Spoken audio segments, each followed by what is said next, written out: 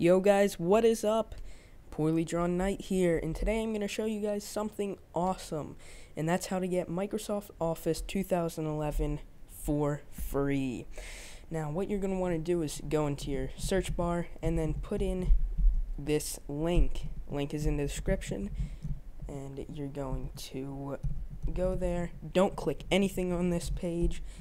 You know, it's an advertisement. You're going to click top right corner, skip ad. So click that and it will take you to Microsoft Corporation. I don't think this actually is, it might be, but you're going to click on the file and that is going to download it. This should be a pretty long download. Um, I don't know why. Maybe my internet's just bad, but I already downloaded a copy, so I don't think you all are really going to have to watch me download a file probably for like 10 minutes that would be terrible.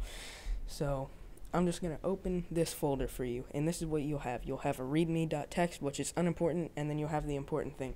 Microsoft Office.dmg um, version 14.0.0 so I'm going to open that right now and it should have this DMG and it'll have readme.rtfd you don't have to worry about that. That's just the crack showing you that you don't need the activation key. So right now what you're going to want to do is open Office Installer. So uh, I'm going to open that.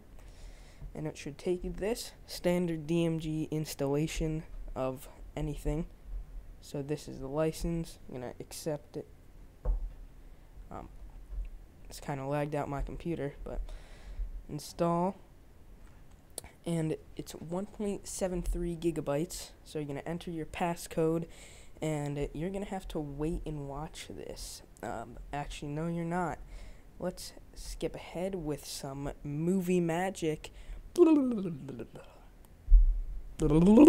Oh, right back to the glitch. Nice.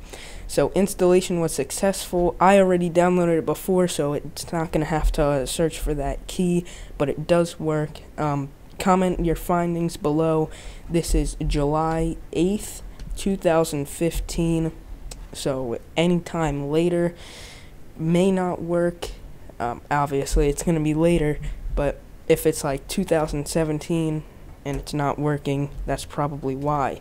So I'm just going to open everything. I don't know why I did it, but opened everything to show you all that it works. So Excel, that works and then I figured I'm gonna show you all Word the the typing works. You know, you can see that it does work. This is how it would standardly be. So, boom, that's how you do it.